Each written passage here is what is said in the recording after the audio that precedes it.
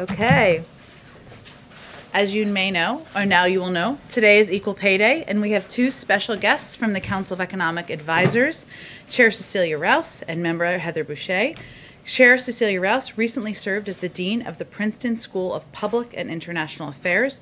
She is a renowned labor economist with expertise centered in the economics of education and equality. Cecilia previously served as a member of the Council of Economic Advisors in the Obama Biden administration and on the National Economic Council in the Clinton administration. She is the first African American and just the fourth woman to lead the CEA in the last 74 years of its existence. Heather is a longtime economic counselor to President Biden and previously served as president and CEO of the Washington Center for Equitable Growth. An expert on the impact of structural inequities on economic growth, she served as the chief economist for Secretary of State Hillary Clinton's 2016 presidential transition team and as an economist for a range of think tanks and the Congressional Joint Economic Committee. They both have quite some resumes. Um, I'm going to turn it over to them. They will each make some brief remarks and we'll be able to take a couple of questions. And they actually have a meeting uh, with the vice president they'll have to get to shortly thereafter. So, with that, I will turn it over. Good afternoon. It's actually it's a um, it's a pleasure to be here today. So today is Equal Pay Day, a day that is, is a symbolic representation of how far into this year women must work work to catch up to what men made in the previous year. Women working full time year round are typically paid just 82 cents for every dollar paid to men. It's a reminder of the work that remains to, to be done to advance equity and ensure that all Americans have the opportunity to reach their full potential. Because of this gender gap, women lose thousands of dollars each year and hundreds of thousands of dollars over a lifetime. The disparities are greater for black and Hispanic women who earn 63 cents and 55 cents for every uh, dollar that a white man earns. What does this mean? So, a black woman must work around 19 months to earn what a white man would earn in one year. For a Hispanic woman, that is almost 22 months. So, what does this really mean? It means I shouldn't be standing here today in front of you, and really, I should be here sometime in August. So, what are we doing about it? President Biden and Vice President Harris believe we must begin by passing the Paycheck Fairness Act. This bill would be an important step towards ending pay discrimination through transparency and accountability for employers. They believe we must provide paid family and medical leave, make childcare more affordable, and build pipelines for training that enable women to access higher paying jobs. They are also committed to raising pay for childcare workers, preschool teachers, home health aides, and others in the care economy, and taking additional steps to increase wages for American workers, such as raising the minimum wage and empowering workers to organize and collectively bargain, both of which are important to reducing the wage gap for women we have made progress. My daughter is here today, she's downstairs, and when I was her age, the gender wage gap was about 60% compared to 80%, 82% today. That said, there is still a lot of work to do. The Biden Harris administration is working to make sure our daughters have the same opportunities that our sons do, and to make sure that every American is given a fair shot to get ahead in this country. These aren't simply women's issues, they affect all families, the ability of our economy to recover, and our nation's competitiveness. With that, I'll turn it over to Heather.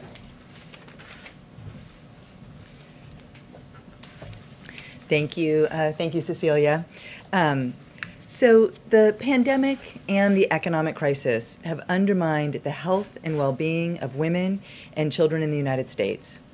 There are now 4.2 million fewer women working than there were in February of 2020, in large part because of the pandemic.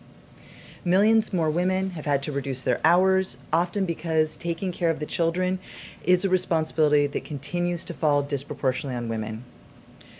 Our economic recovery depends on us addressing the barriers that have hampered women from fully participating in the labor force. So here's the good news the American Rescue Plan will change the course of the pandemic and deliver immediate relief and support to women, families, and their communities, critical to building a more equitable economy.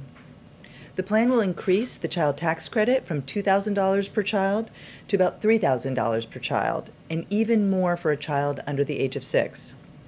This means a typical family of four with two young children will receive an additional $3,200 in assistance to cover the costs associated with raising children.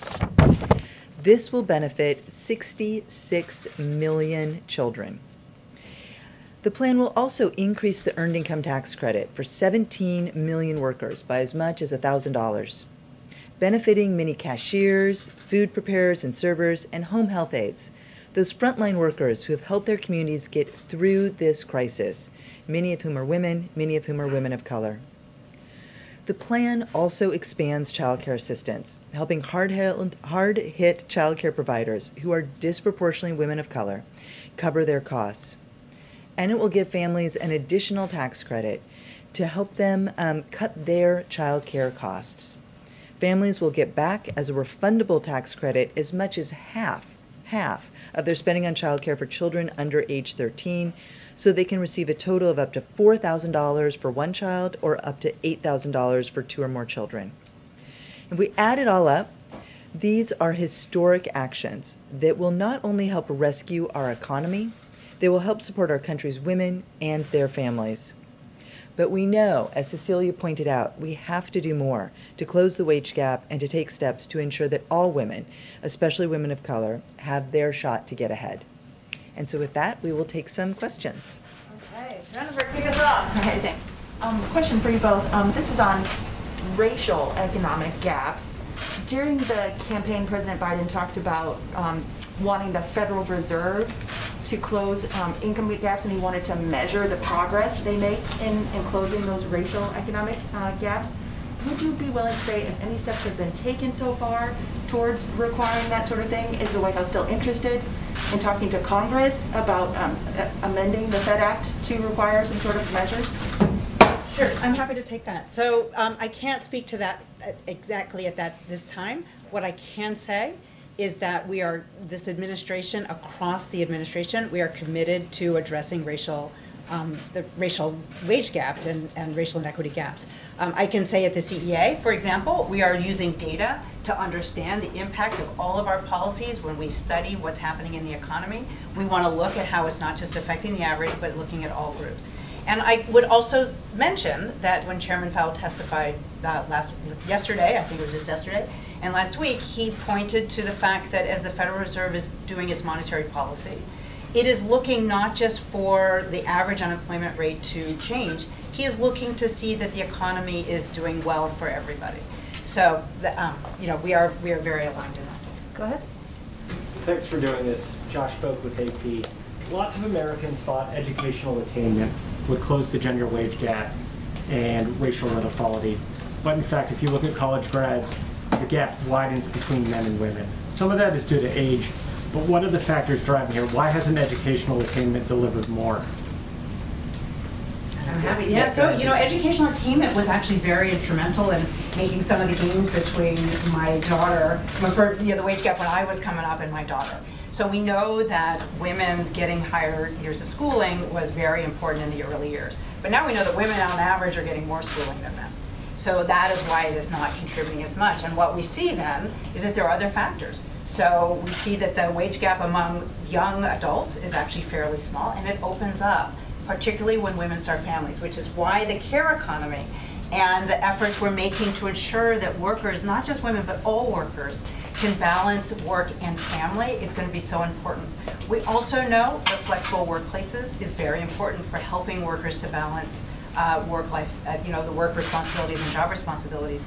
Uh, Claudia Goldin at Harvard, for example, has found that the wage gap is smaller in occupations such as pharmacists where there's just more flexibility baked into the occupation.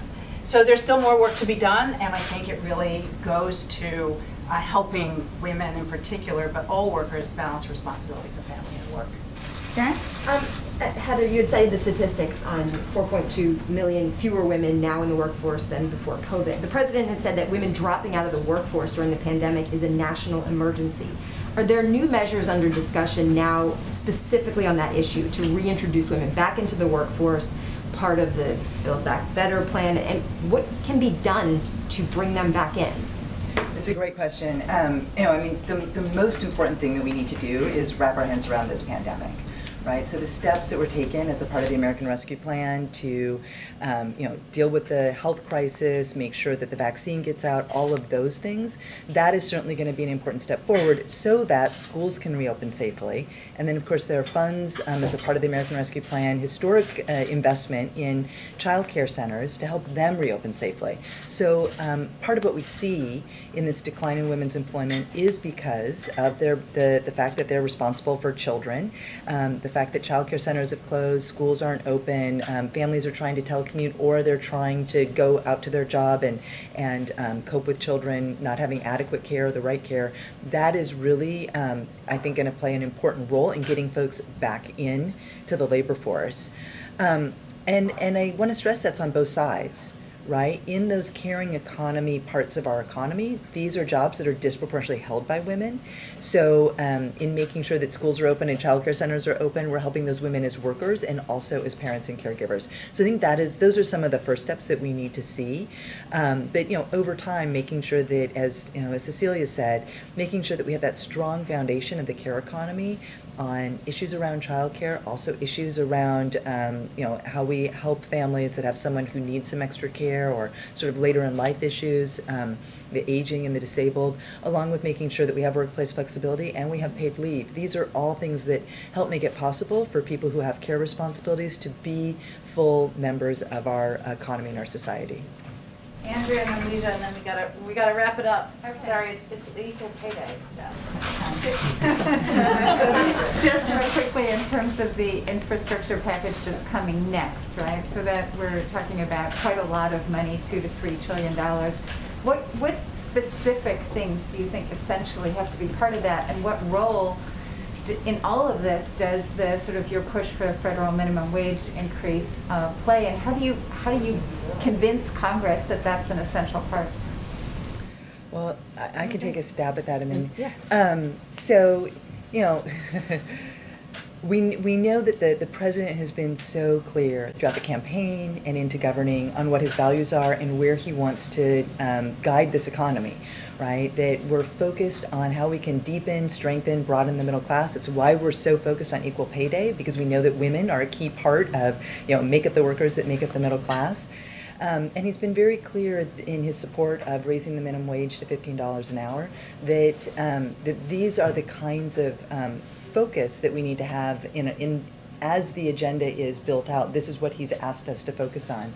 Um, alongside this, we need to make sure that, that we are uh, making sure that the economy is directed at enhancing, supporting, building American competitiveness so that we're creating those good jobs and they're available for all people, not just some people, but people all across these United States.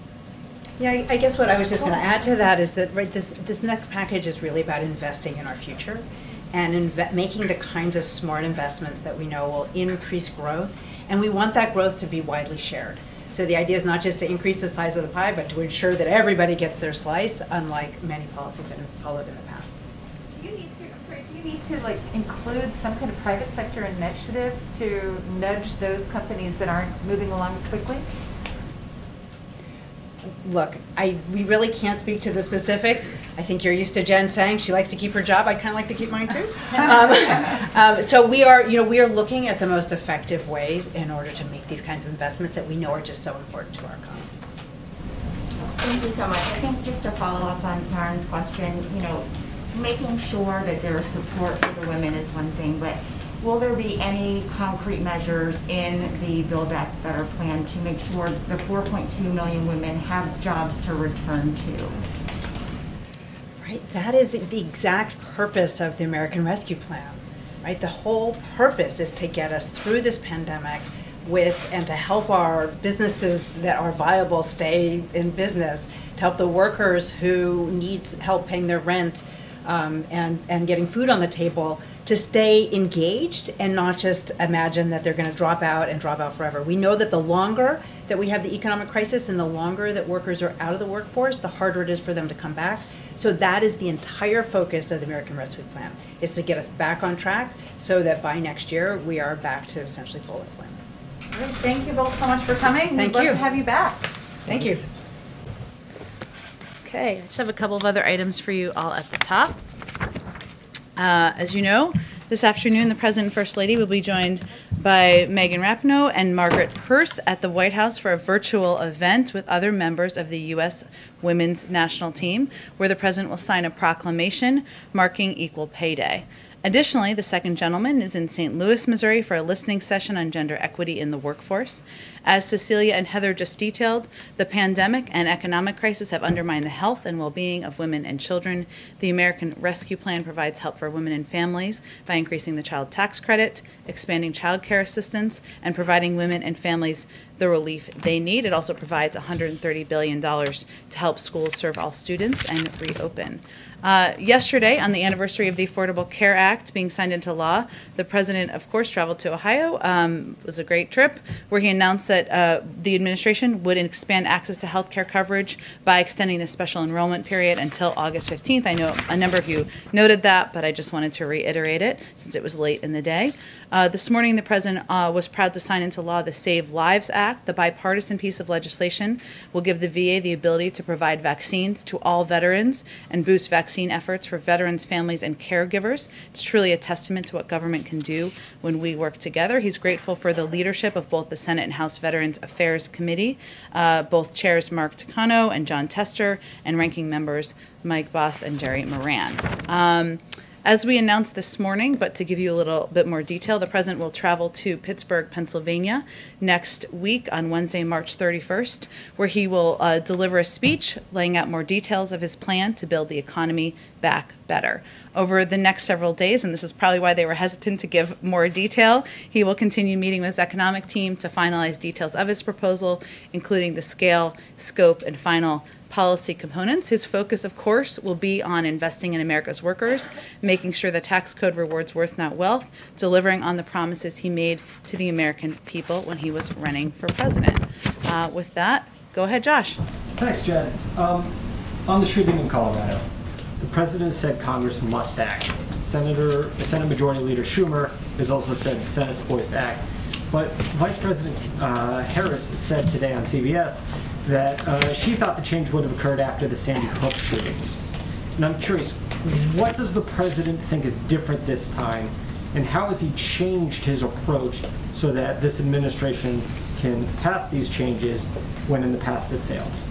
Well, first, the president shares that sentiment, as I think many Americans do, that when we saw uh, 20 children uh, murdered, uh, when we saw uh, six adults murdered, that that would turn the tide of uh, Congress. We have seen uh, data and statistics still uh, across the country still broadly support uh, background checks. I think it's about 80% of the American public support background checks, including a good percentage of gun owners support background checks. We've seen states take uh, action since that time. A number of states across the country have put in, in place a number of laws. Sometimes states are the leaders, as we know, and we've seen in other areas of policymaking.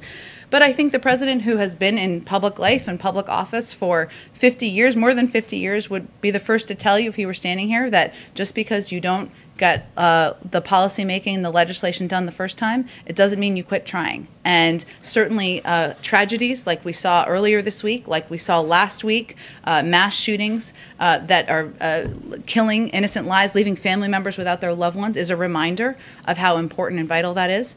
Uh, he has talked about, as he did yesterday, uh, the importance of working with Congress. I know the vice president touched on the fact that if we want something to be permanent, if we want it to be lasting, we need it to be legislation. He certainly believes that. But there are also executive actions under consideration that we will continue working through internally, and there's lots of levers you can take, obviously, as president and vice president. And, and then, secondly, um, today's the first chance for many in the media to see the situation on the southern border mm-hmm. at government facilities. Yeah. Um, this is the first step at transparency. What else can we expect with regard to that? So that we can evaluate the situation and present it to the public. Well, first, as you noted, um, I know all of you have covered this, but just to kind of reiterate where we are here. So there's a delegation of members of Congress and White House officials who are traveling to uh, the Office of Refugee Resettlement at Carrizo Springs in the, in, the influx care facility there. Um, there is a network pool camera uh, that will be a part of this journey, which will be uh, will which will ensure that there's network pool coverage or network pool footage, I should say, that is provided to all of the networks, so that you can all see as the media for yourselves and be able to provide analysis on that um, B-roll footage. And we are also remain committed to transparency and will continue to work with agencies on creating avenues for media access uh, to and visibility into these facilities. So uh, I think our balance is, of course, privacy, as you all know. Uh, it is also that we are in the middle of a pandemic, uh, and that uh, you know these facilities, of course, can't become uh, forums for media access all day long, every day. Uh, I think we all agree on that balance, but we will continue to look for ways to increase transparency and provide additional access and fulfill requests. Go ahead. Uh, Thank you, Jen. A couple questions on guns and Sure. AAPI representation. Um, At what point would President Biden consider taking executive action instead of waiting for Congress to wait? In other words, how many measures would have to fail before he stepped in? I think he sees it as a, um, vital to take uh, steps on two tracks um, because congressional legislation, as the vice president conveyed this morning, obviously has a more permanent, lasting impact. Uh, executive actions are, of course, an important lever that every president has at their uh, disposal. There's current discussions and analysis internally of what steps can be taken. That that has been ongoing for several weeks, even before these two recent tragedies. Uh, that um, you know he looks forward to uh, getting an update on and, and seeing what can be moved forward on that front as well. So he's not waiting for anything to fail. Is is really the answer to your question. What executive actions do you think he's most likely to take? Uh, it's a great question. I have it myself as well, um, but it's an ongoing policy process internally. I will say that his view, the vice president's view, and our policy team's view is that um, it's not just about uh, addressing uh, gun access. That's important, uh, and obviously there's legislation that's under consideration on background checks that they both strongly support. They want to see move forward. Uh, it's also about addressing community violence um, and uh, you know a range of issues that are root causes and, and kind of lead to the the uh, the deaths and the uh, and the uh, impact that we're seeing that's so troubling. Got it, thank you. And then on the other issue, um, you know, the White House had conversations with uh, Senators Duckworth and Hirono. Um, I think one concern that they have brought is, is the question of who is advising President Biden from the AAPI community as we see this surge of violence. I know Ambassador Rice and Cedric Richmond are leading the mm-hmm. engagement efforts. Who who in the AAPI community is having direct conversations with the president about what's unfolding? You mentioned uh, Cedric and uh, Susan Rice, who have been doing listening sessions uh, for some time, and obviously those will continue to pick up.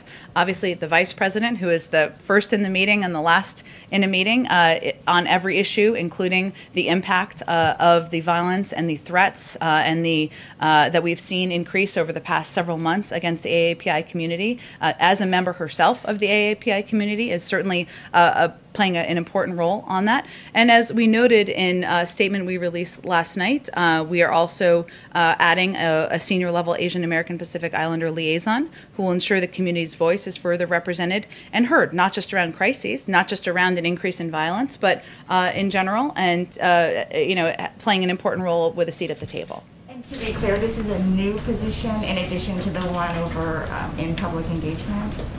Th- this is the one that we announced last night. Okay, so it's going to be a new senior level position. Yes, Addis. Yep. mhm. Will this person also have a policy portfolio or will it just be mainly outreach? Uh, I can get you more specifics. I mean, I think that uh, when they're all the roles that are in our liaison, playing liaison roles, uh, typically have a seat at the table on a range of issues. So whether it is healthcare or uh, climate or uh, community violence, um, so typically uh, it's having a seat at the table on a range of topics. But I can see if there's more specifics. Obviously, we have not hired yet because we just announced this last night. Go ahead. Uh, To follow up on Yuja's question, uh, on the president, uh, we're- we were talking yesterday about executive action on gun reform, but the president also was making it clear he wanted to see Congress act. Mm-hmm. Yes. that Several times. Yes. Would he propose uh, his own gun reform plan that he would present to Congress, as we've seen him do on the COVID relief plan and what we anticipate coming on the economic plan? Would this be something that could originate here and not wait for Congress to move? You know, Karen, I think it's a great question. There's obviously a lot of pieces of legislation that have been proposed. Uh, there's these two background check bills that are have moved their way through the House. There's also legislation that's been proposed by Senator Feinstein, Congressman Cicilline, uh, that addresses uh, some uh, uh, banning an assault weapons ban, which is something the president worked to pass in the 90s when he was uh, in the Senate. So there's a range of steps that can be taken to increase gun safety measures. What our team is looking at now is what is the legislation that's out there? Are there any gaps that need to be filled? policies or proposals that have been introduced in the past that could be reintroduced. Uh, so I don't have anything to predict for you on whether there'd be something independent. I think we're looking at what uh, a number of passionate gun safety advocates on the Hill have already introduced to see where we can help uh, push the, the boulder on that. Has the president spoken to any of the families of the Colorado shooting, any of the victims' families? I don't have any calls uh, to read out for you. Um, you know, he he uh, is somebody who obviously has a deep connection to loss, um, and uh, we don't always read out those calls. I can check and see if there's anything uh, that has uh, that he has done that he'd be uh, comfortable conveying to all of you. Can I do one more? Sure, go ahead. Uh, Could you give us an update on progress from the Family Reunification Task Force? Have there been families, children reunited back with their parents? Where does that stand right now? There, there have been, uh, and a lot of that has happened through lawyers and outside groups and the NGA, co- Community that plays an incredible role here. There will be an update provided at day 120 that will be more of an official report and update uh, out of the Department of Homeland Security. Uh, so, in advance of that, I'm not sure we'll have incremental updates, but there have been uh, some progress made thanks in large part to the work of uh, legal experts and NGOs on the outside. The task force is working with those NGOs? They're in, in touch with them as well, uh, but we'll have our first formal update at day 120, and then I believe every 60 days thereafter. Go ahead, Jeff. Jen, why did the president wait until there was another shooting, until he addressed gun violence in America?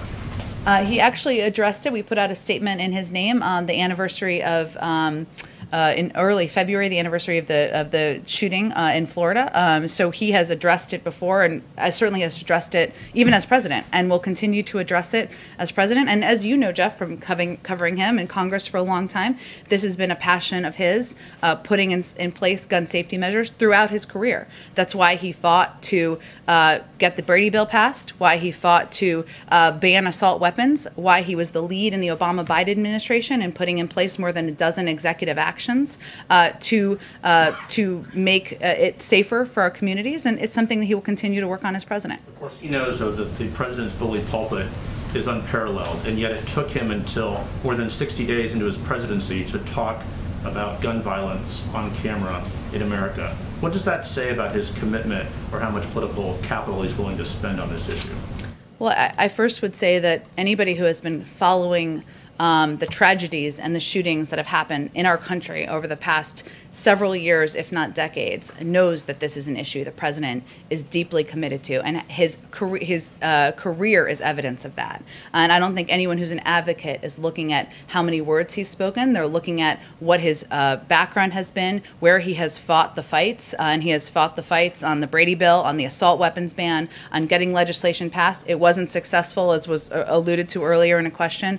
Uh, we know that. Uh, but this is something he's going to put uh, his shoulder into. He's going to work with members of both parties. He's going to uh, certainly advocate for. And I think for uh, for those who have survived uh, gun violence, for those who've lost family members, they're really looking for action, and they're really looking at the record uh, that he has or he has over the course of the decades of his career. If I could follow up on the, the question on the border, the access being granted today for the pool is of a facility that is aspirational of where you want to move uh, these children. What about access to the facilities where there is overcrowding and there is an actual uh, uh, problem? Why was this one chosen over the? We're also open to providing access there, um, and this is just the first step in a process of providing greater access to the media. And when would that decision be made? You've said earlier in this week that uh, you would be working on access. Is this the only access, or will that be coming?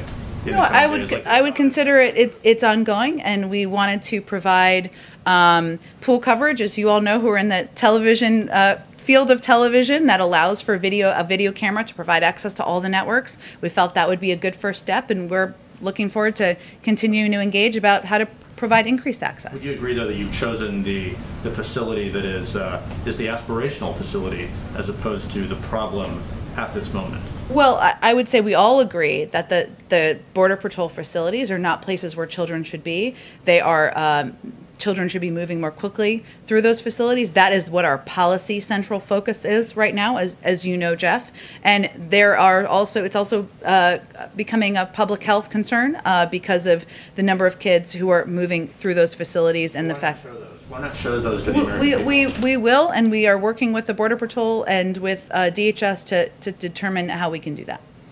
Go ahead, Jennifer. Um, on Iraq and withdraw, withdrawing U.S. troops from Iraq, could you please give us an update on um, Iraq's request for the start of talks on, on that withdrawal, please? That's something we are looking forward to uh, convening uh, next month. Um, and I'm not sure if I have an update other than, than to convey that we look forward to our strategic dialogue with the government of Iraq over the month of April. Uh, the meetings will further clarify that coalition forces are in Iraq at the invitation of the Iraqi government and solely for the purpose of training and advising Iraqi forces to ensure that ISIS cannot reconstitute. And we are committed first and foremost to Iraq's sovereignty. We look forward to these important discussions with Iraqi leaders on the future of our partnership that will convene uh, next month. Go ahead, Andrew. Got a couple of quick ones for you. So on Nord Stream 2, that is an issue that keeps coming up in the relationship with Germany. How soon do you think those sanctions will be implemented? And has the president um, had a chance to discuss this issue at his level with the Chancellor of Germany? I don't have any uh, calls, although we do read out the calls that he does. So you would certainly know if he had a call with the Chancellor of Germany, I can assure you. Um, so, not a new one uh, that I'm aware of that you are not aware of. Um, we continue to believe it's a bad deal. Uh, I don't think we have an update on the, our policy position beyond that. Okay, and then um, 14 states have now sued the administration over the oil and gas, over the pause in oil and gas leasing. What do you say to that, and how do you move beyond that? I mean, how do you, how do you, you know, I realize there's a legal process, but how do you address, how do you get your point across in this legal environment? Well, I would say first, um, oil and gas jobs aren't going anywhere. Uh, the outgoing administration flooded the oil markets with cheap federal leases. This will not affect oil and gas production or jobs for years to come. And what President Biden has pledged to do is invest to create jobs and ensure America leads the clean energy revolution, which is where the industry is largely going anyway, where there is the greatest opportunity for job creation. Uh, he wants to create good paying union jobs, and uh, that's something he believes and he's committed to doing. I think there's a lot of um, uh, there is some misinformation out there about what this means, which is why it's not. No, I'm not saying from the media. I'm just saying in general. Um, and uh, again, there are oil and gas jobs that are out there. The existing leases will continue. He's really talking about future leases. And then just one more um, on the gun issue. I know this is kind of a crazy question, but It's always a good lead-in when it's a crazy question. it's quite a lead-in. Given the history of, of people trying to enact gun control Yeah. legislation in this country, is there some consideration to taking a look at the Second Amendment and, and just addressing it from a sort of the, the underlying constitutional right to bear arms? Does that, is that something that the president feels needs to be called into question so many years after the revolution? No one is talking about overturning or changing the Second Amendment. Um, what our focus is on is putting in place common sense measures that will make our community safer, make families safer, make kids safer. Uh, the majority of the American public supports background checks. Uh, the majority of the American public does not believe that anyone needs to have an assault weapon. Uh, so uh, that's really what our focus is on at this point in time. Oh, Judge Joe Manchin is not in support of this. Once again, you have a Democrat, a member of the president's own party, who is already signaling that he will not support that. You have a very slim majority. Can you convince Republicans to support this legislation so that you can work around a Democrat that's not supporting it? As the president said yesterday, we don't know yet. He hasn't done the vote count, um, but it is certainly an issue he will talk to members about and convey why he feels it's so important. That it's not a shouldn't be a political issue. That keeping our community safe, family safe, uh, looking at the track record as what has worked in states, which is very informative. And actually, to Josh's earlier question, something that we know more about now than we may have 10 years ago. Um, so he will he will be uh, conveying that to, to members he's he's communicating with. Go ahead. Uh, two questions. Uh, following up on Regis's questions about representation, um, the Biden administration is the first in 20 years to not have an Asian American lead one of the 15 executive departments in the cabinet. So how does the White House square that fact with uh, the president's pledges to make this the most representative, most diverse um, in history? Well, I will just say the president remains committed to making sure this is the most diverse administration in history. That has always been, remains our goal. We've made a lot of progress. Uh, we have the most diverse cabinet in history. Uh, we, but we will continue to make progress. Uh, we have AAPI staff at senior levels and at all levels of the administration, and we will continue to work to find ways to elevate AAPI voices uh, at the highest level of government. Uh, there are a number of um, uh, cabinet level. I know it's not 15 members, so but just to, to note, obviously Katherine Tai, who received a overwhelming support in the Senate in her approval uh, uh, to be confirmed for USTR, uh, Julie Su at the Department of Labor, uh, Kiran Ahuja, I'm going to butcher that name and I apologize to Kiran uh, at OPM, Todd Kim, the Assistant Attorney General at DOJ. So we will continue, and obviously there are more positions and roles uh, that we need to fill. And I will say, first and foremost, the president's view is that we need to listen, and uh, that is an important component of how we're communicating um, with members of Congress as concerns arise, also with leaders in the community, as he and the vice president did last Friday. Uh, why it's so important as we look to policymaking to have senior members of our administration do listening sessions in the community to, to determine uh, how we can best address needs. Is it there's personnel, of course, and we will continue to work toward that. There's policies, uh, and that's part of our objective and our focus at this point in time. And also a quick one on guns. Um, the president also talked several times about a federal assault weapons ban, and I'm wondering how he plans to build a coalition around that, when even when that policy is something that is opposed by many moderate Democrats in Congress. Well, though it is supported by the majority of the American people, uh, and that is an important fact. Um, and uh, he will, it's something that he has ha- long had a, a, view and a belief that uh, no one needs an assault weapon, uh, that it is not something that should be uh, a part of what, um, what people have access to in this country. Um, and he will uh, continue to. Um, so, like, you're asking kind of who will he talk to, or who will he? Plan to build a coalition in Congress to build that support? Well, part of it is certainly communicating with the advocates. It's communicating with uh, outside groups, with gun owners, many of whom will tell you that they don't believe uh, they, they would support an assault weapons ban. Uh, communicating with leaders in states where uh, laws have been put in place that have been impactful. And obviously having conversations with members he's known for some time, having them at the staff level, and determining if we can find a path forward. Go ahead. Thank you, Jen. I'd like to ask you uh, two questions. The first about marijuana, and the second about a bit of a historical mystery I'm hoping you could help us solve. Okay. There's a lot of setups for these questions today. I like it. Go ahead. Uh, sure. So, uh, Vice President uh, Kamala Harris says that she is a past marijuana smoker. Uh, she said, quote, it gives people joy, and we need more joy in this world. Um, she is with a clear majority of the U.S. population in supporting marijuana legalization. According to polls, two thirds of people do, including about half of Republicans. Mm-hmm. Uh, yet last week, the Daily Beast reported that there were dozens of White House staffers who were either disciplined or ter- terminated from their jobs for past marijuana use. Uh, you seem to confirm five terminations on Twitter. Um, and my question is, why would President Biden allow this to happen, especially considering uh, the White House staff were led to believe that pot use would not be disqualifying, and especially considering the Vice President is herself a former marijuana user? Well, let me first say that um, what what we tried to do as an administration was work with the security service, who actually makes these determinations about um, about uh, suitability uh, for serving uh, in government. Uh, in the past, and I served in the Obama Biden administration, the rules were actually far more stringent. Uh, so that isn't about uh, anyone's personal point of view. It's about working through the process, the history, and modernizing it and taking steps to address the fact that marijuana is legal in a number of states across the country. It is still illegal federally, right? We know that.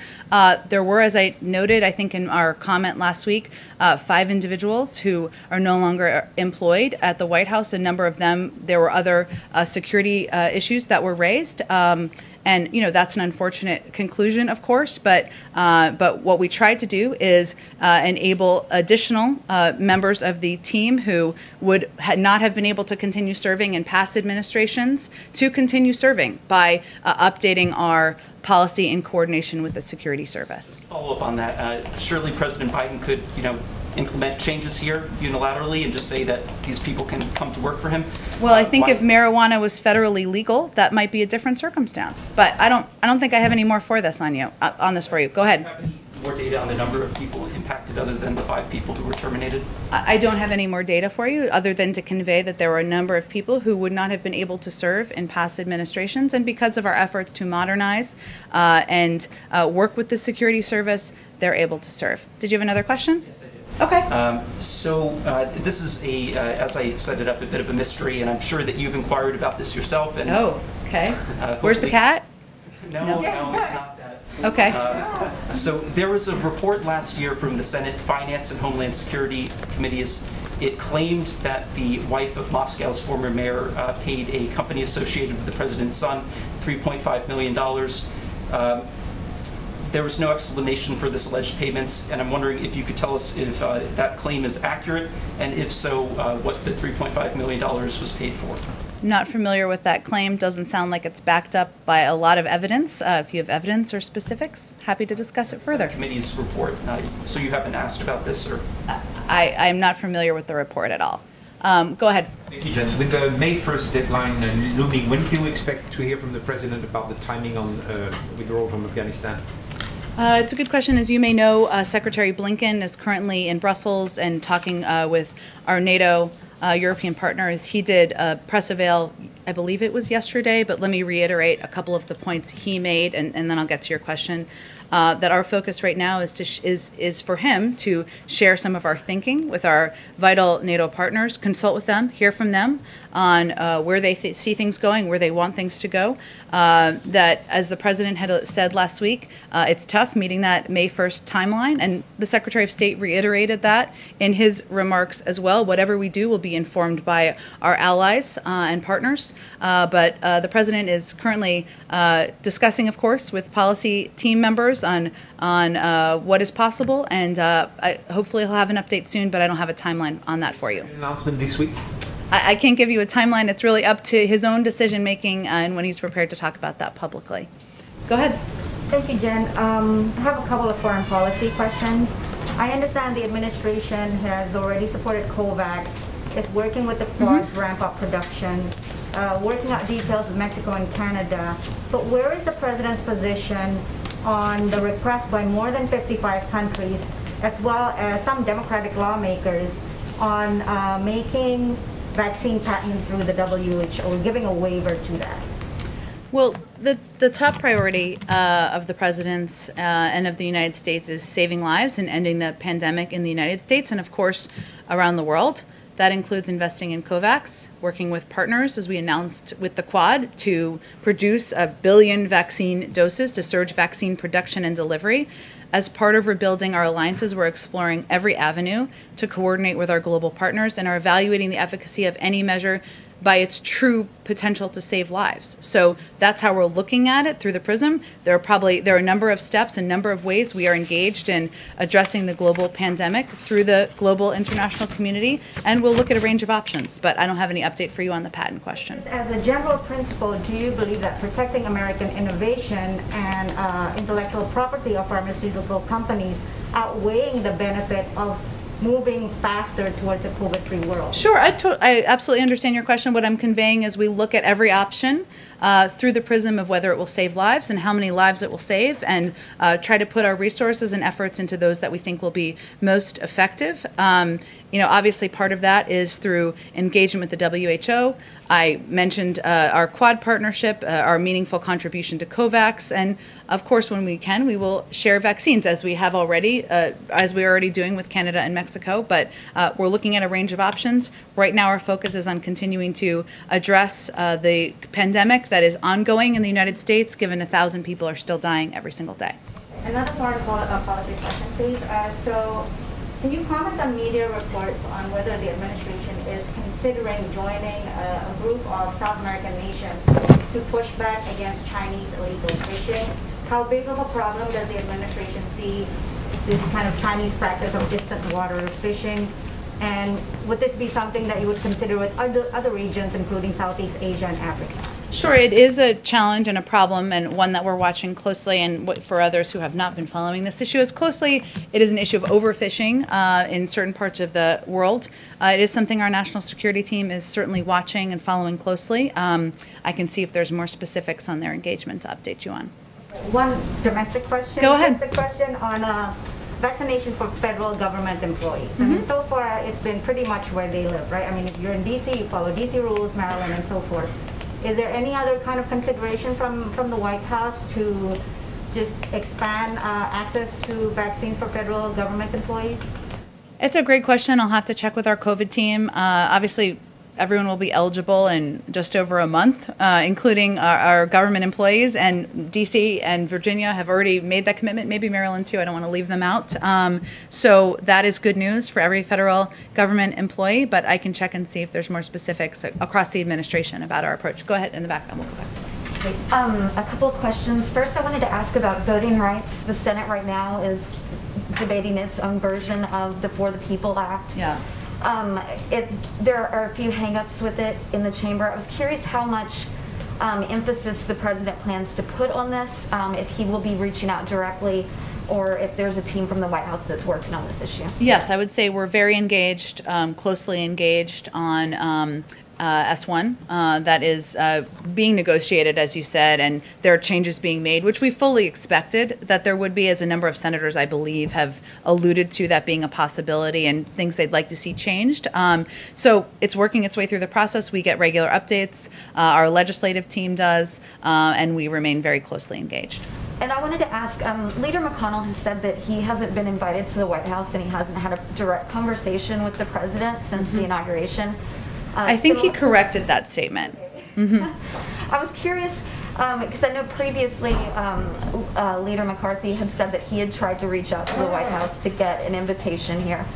Um, does does the president plan to have some sort of big, you know, meeting with leaders from across the aisle um, eh, where we would see photos of them together and things like that? I'm sure he will. We obviously have been limited on COVID to any events in the East Wing, and at this point, we'd, be very much in the East, the Easter egg roll preparations, which of course we will not be, but obviously more important, substantive, vital meetings than that. He's had a number of meetings, bipartisan meetings in the Oval Office. He will continue to do those. Those have often been constructed with committee chairs or or um, or members with specific jurisdiction. Uh, he has he has a long friendship with uh, with Leader McConnell. He has spoken with him. Uh, he speaks with him regularly. Uh, we're obviously not going to read out all of those calls. and I expect that will continue.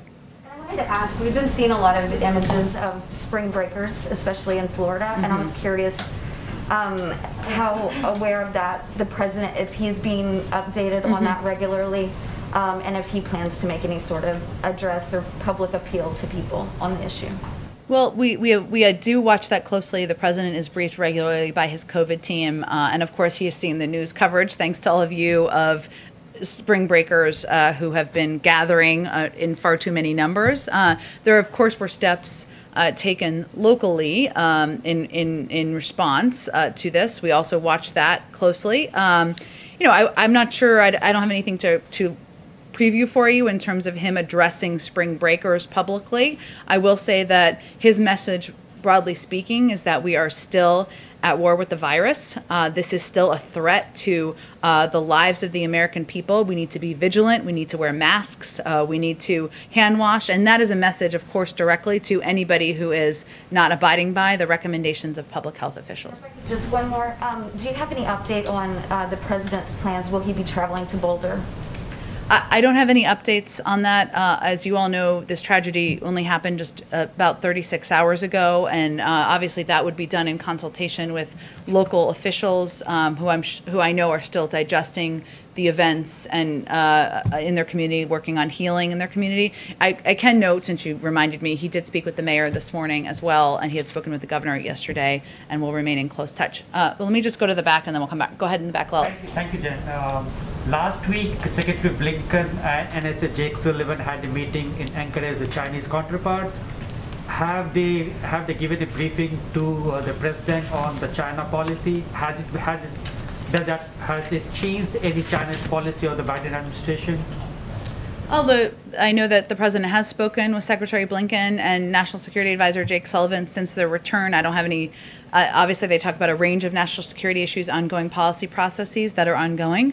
We're currently taking stock of where we are, which includes co- close consultation with allies and partners. As I noted, Secretary of State is in uh, Brussels currently uh, on the way forward, and we'll continue to work with China going forward uh, when it's in the interest of the American people. So we're in consulting internally, consulting with our partners and allies, and that's really the stage we're in at this time. I have a question rela- related to legal immigration. When Vice President was a senator, she supported the cause of uh, EAD, employment authorization cards for H4 and L2 visa holders.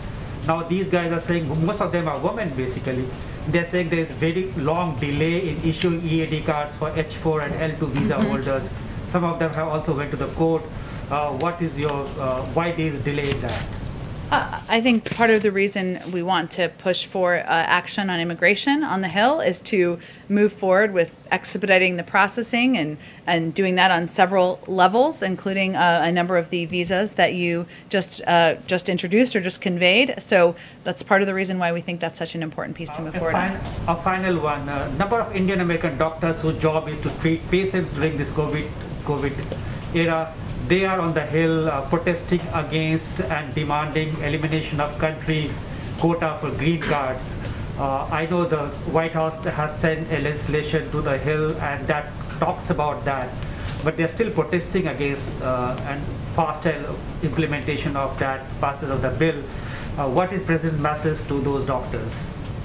I think the president uh, is, would would reiterate that he believes that uh, there should be faster processing, that our immigration system is broken uh, at many levels and uh, of of the system, and that he is eager to for Congress to move forward with action there. Okay, two in the back. Go ahead. Thanks, Jen. Uh, I'm back on guns. Um, You mentioned bipartisan meetings. Um, I'm wondering if you could give a little bit more of a sense of uh, the president's engagement with Congress on gun legislation specifically. Does he plan to have a bipartisan meeting on that at the White House?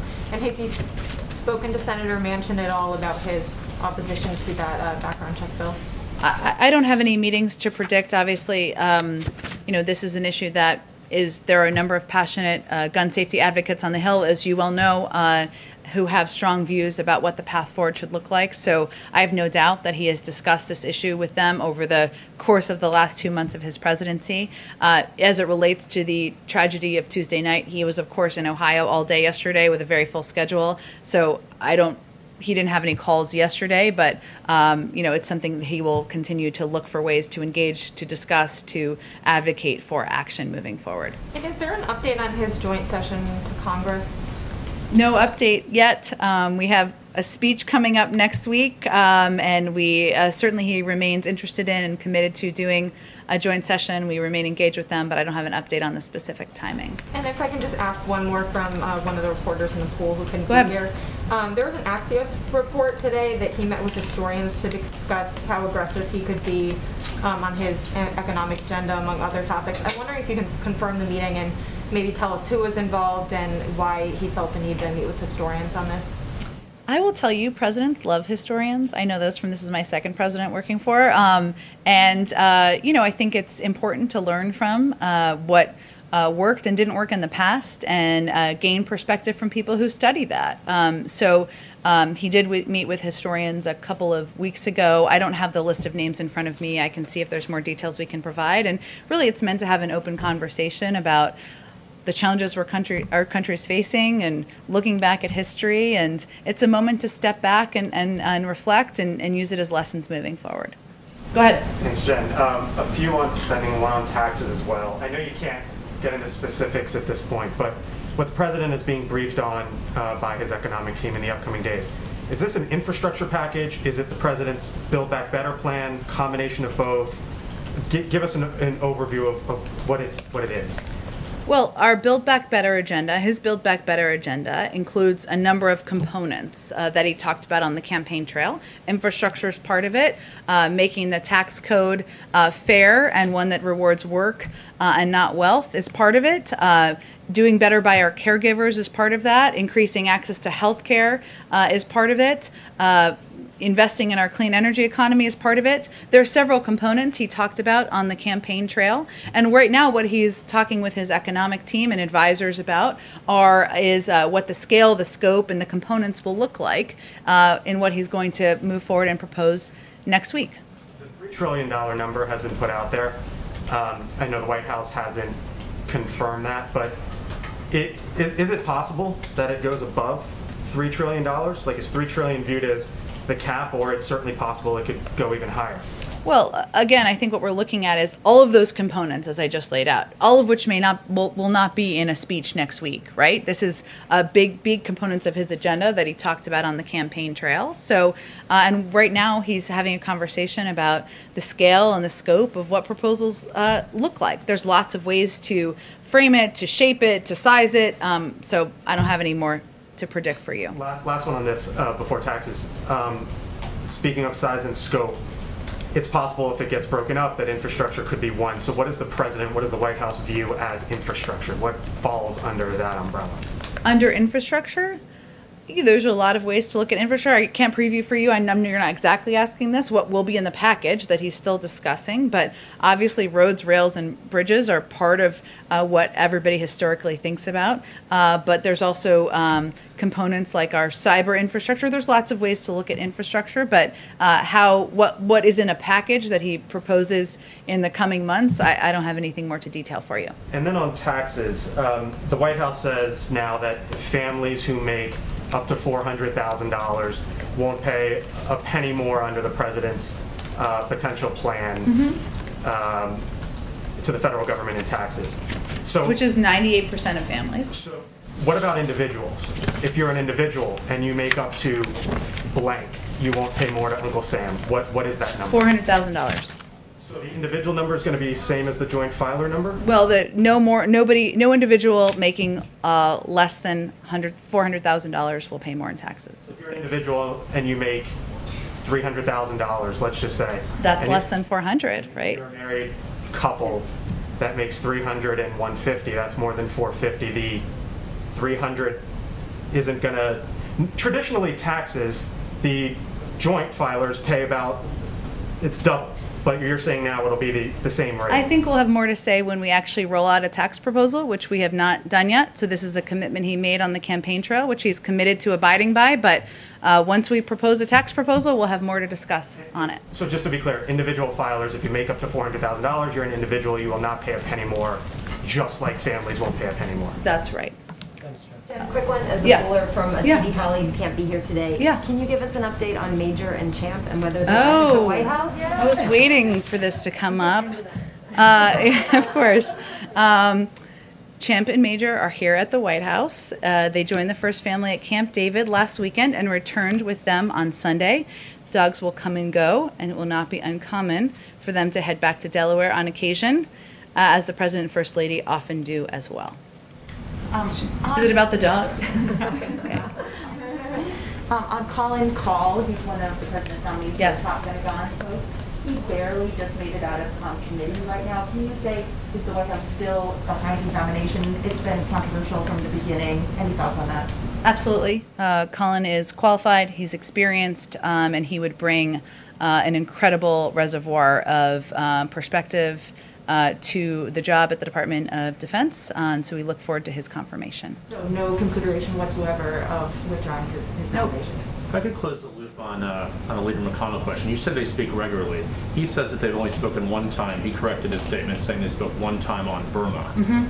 Have they spoken beyond that one time? I don't have any more calls, I don't think, to read out for you, uh, which we, we will not make a, a case of doing, as you know. Uh, so I don't have more to read out for you. His definition of bipartisanship changed since he um, arrived in office on January 20th.